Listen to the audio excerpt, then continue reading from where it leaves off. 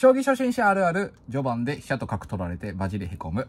えー、今回ですね、えー、書籍紹介でございます。じゃん。えー、羽生善治さんの、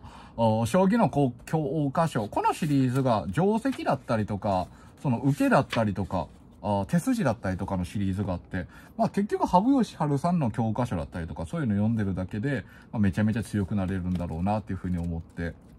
よくですね、この、これを読めば初段になりますよっていう風にあると思うんですけど、本当の本当の意味で、羽生善治さんのこの教科書のことを全部読めてたら初段になる力っていうのはつくんだろうなっていう風には僕は思ってて。で、結構この書、教科書シリーズとかよりは、こういう羽生善治さんの適応力とか、まあ、決断力が結構有名ですよね。対局観とかと。で、まあ、このいう適応力だったりとか決断力だったりとか対局観の書籍をより楽しく見るためにこうやって将棋を学ぶっていうのがなんか僕の中であるのかなと思ってて。でこの書籍をより深く楽しむために将棋ウォーズ今やってるみたいな形になってるんで、まあ、ずっと負けてるんですけど今ね。あボロ負け中のボロ負けですけど、だからもっと、あの、でも、将棋ウォーズで強くなるためには、こっちの適応力の本を読んで、こうだよね、こういうことするよねってのを意識しながら、あ勝つっていうのはちょっと難しい気がして、やっぱ実戦で、まあ、寄付並べして、詰将棋解いて、で、それって実戦で感想戦をするっていうのが、まあ一番強くなる。感想戦でしたことを次もしないようにするとか、ああ、まあ、僕だったら寄せがダメだったりとか、時間をうまく使えないとか、ちょっとした集中力の不足で、序盤戦と中盤戦で最初言ったみたいに飛車と角がなくなって、もう藤井曲線みたいな形で何もできずに終わって、ええー、っていう風になるとかね。まあそういうのがあったりするんで。うん、でもなんかこの結局いろんな本あるけどどれ読めばいいのってみんな思うんですけど結局羽生善治さんが書いてるで結構気をつけないといけないっていうか僕の中で思ってることがあってこれ羽生善治さんの著作なんですよでこの適応力も羽生善治さんが書いてる本なんですよでまあ結構これかなり話題で有名だと思うんですけど、これ金子隆さんの寄せの手筋は、まあ、過去の作品をこう、引用して、まあ、リメイクして作るみたいなのがあるんですよ。で、例えばこれだったらマイナビの飯塚さんが書いてる本なんですよ。で、僕結構、これ怪しいなって思ってるのが、監修なんですよ。羽生善治さん監修だったりとか、この藤井聡太さん監修の本ってあるんですよ。で、なんか監修の仕事って、こう、選ぶみたいな。詰将棋監修は、この詰将棋の中を選ぶみたいな。それが監修の仕事っていう風になってて、僕結構普通の小説とかにしても、いろんなこう、書籍にしても、監修はちょっと僕の中ではあんま肌が合わないな。やっぱ、監修と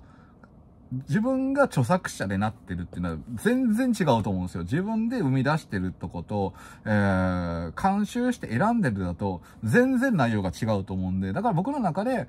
僕の中ですよ、おすすめの書籍の使い方としては、基本的にその自分が好きな、あ騎士の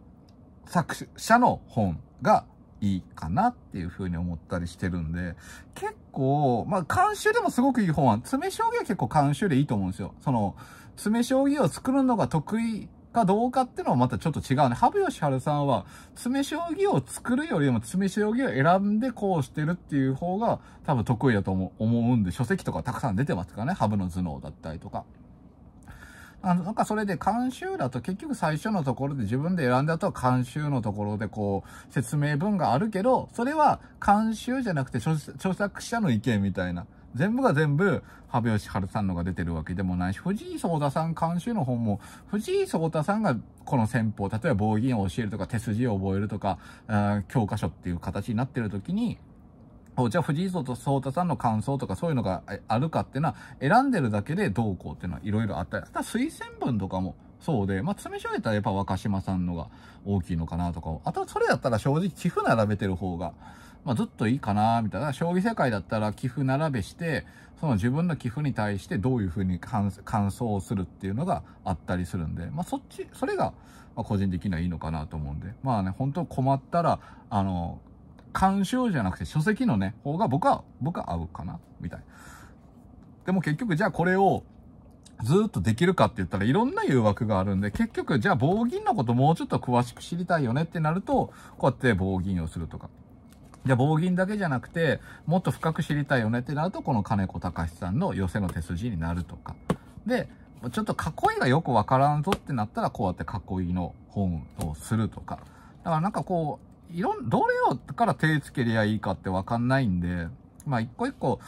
試してからやるっていうのが一番いいんですけど、でもそれだと結局一番ダメなのは、負けて負けてやめたってなるのが一番ダメだと思うんで、自分が一番こう楽しく長くできるっていうやり方がいいと思うんで、結局回っていくと思うんですよ。結局いろんな本を読んで、いや、将棋の教科書もいいけど、こうやって棒銀のやれば勝てるし、で、詰将棋もいいけど、やっぱね、縛りとか寄せが大事だし、みたいな。で、やっぱこう囲いをしっかりと囲わないといけないから、例えばこの囲いで今だったらエルモ囲いとか、イチゴ囲いとかですか？まあいろんな囲い方ありますよね。穴熊にし、金無双にし、船囲いで、中住まいとかもね。で、右玉もあったりするかもしんねえぞとかね。えー、櫓とかもね、早囲いしたりとか、土井櫓っていうのは今考え直されたりとか、まあそういうのがあったりとかして、あ、これでいいじゃんみたいな形であったり、まあいろんなちょっと本がありすぎ、乱立しすぎてるんでね。で、その本で勝つ、指針っていうのは基本的に将棋を図で勝つために本を読んでるとかっていうなったりしてると思うんで。まあでも結局のところ、全員が全員ってわけじゃないですけど、結局羽生善治さんのこの将棋の教科書だけでいいじゃんって分かったら他の本も読めないし、他の SNS で見てるのもあんまり見なくなっちゃうんでね。まあね、実際じゃあどの本から読め、まあ、まあ、正直これでもういきなりじゃ難しいんで、子供向けみたいな、子供の児童書でも羽生善治さん書籍書いてるんで、子供の児童書の用の。子供用の書籍を読んでから、それからちょっとステップアップで、将棋の教科書。でこれやっていくとちょうどいいのかなって思うんで、まあ一番のおすすめは子供の書籍紹介なんですけどね、えー、ちょっとおすすめでございます。